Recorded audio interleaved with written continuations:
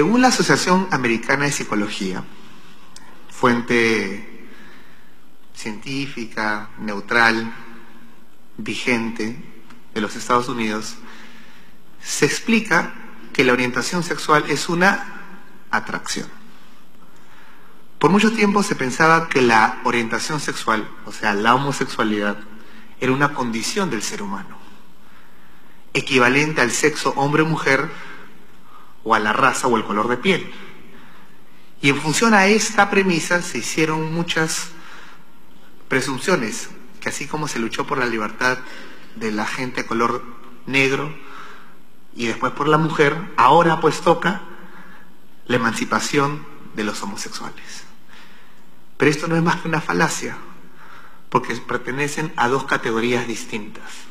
La raza y el sexo son condiciones inherentes del ser humano que uno no elige, nace hombre o mujer, o de un color de piel u otro. Es más, corrijo, ni siquiera se nace hombre o mujer.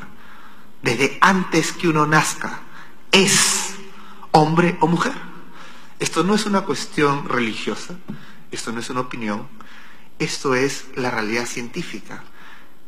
En el momento de la concepción se forma un ADN único con todas las características que el ser humano va a tener durante toda su vida y que permanecen aún muertos. Por ejemplo, en el Perú se encontró hace poco los huesos, los restos de la señora de Caral, la ciudad más antigua de Lima. Y se descubrió que era una mujer. ¿Cómo?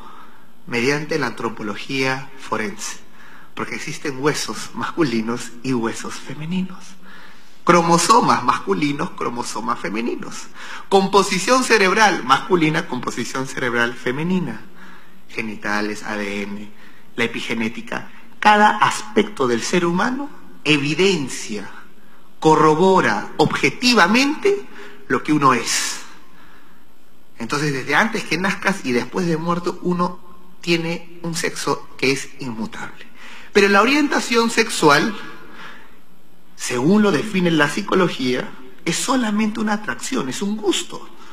Y este gusto puede ser romántico, sexual o afectivo duradero hacia otros, pero finalmente es un gusto. Uno podría decir entonces, así como hay orientaciones sexuales, también existen orientaciones gastronómicas y orientaciones deportivas, que son gustos. Y si a alguien no le gusta el cuy, no es cuifóbico, si a alguien no le gusta a los hombres, no es homofóbico. Y si a alguien no le gusta la Alianza Lima, no es alianza fóbico.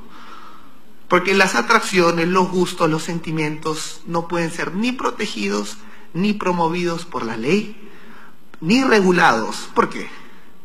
Porque pertenecen al ámbito íntimo y privado del ser humano. Uno elige, decide vivir como le plazca, para bien o para mal es decisión autónoma de todo individuo. Pero hoy en día lo quieren equiparar a una característica inherente equivalente al sexo o la raza. Y de ahí derivan las confusiones posteriores. Hay personas que están convencidas que la lucha por los llamados derechos LGTBI es la marcha inevitable del progreso humano, en lo científico. Pero esto parte de una premisa falsa. Por eso el gran filósofo griego, Sófocles, decía, la verdad puede más que la razón. Porque una vez que uno descubre la verdad y corrobora, lo estudia, no es una opinión, no es una creencia, cualquiera puede corroborar, que la orientación sexual es únicamente un gusto, entonces la premisa que había construido esa conclusión, que era equivalente al sexo o la raza, se desmorona por sí mismo.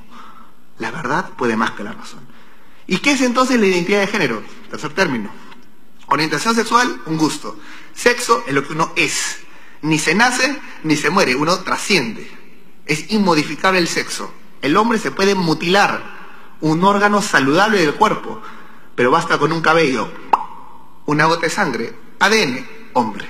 El sexo es incambiable, no se modifica, imposible.